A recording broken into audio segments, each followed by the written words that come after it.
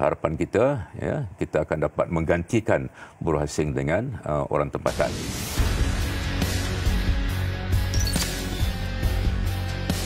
Untuk jangka panjang eh kita kena lihat uh, uh, bagaimana kita nak nak pastikan bahawa pelaburan itu uh, dapat meningkat semula bukan saja luar tapi juga uh, pelaburan dalam negara ya. Jadi kita kena tengok industri mana yang yang Malaysia uh, mampu bersaing. Kita mungkin perlu lihat kepada insentif kita uh, macam untuk menggalakkan syarikat tertentu uh, kembali ke Malaysia uh, yang pastinya uh, keadaan semasa ini menuntut kita melihat kembali kepada uh, kedudukan uh, buruh asing. Kita okay. mempunyai bilangan buruh asing yang tinggi, kira-kira 2 juta dalam negara kita. Maka COVID ini juga uh, memaksa kita untuk melihat semula dasar-dasar ya, uh, tentang buruh asing dalam negara kita.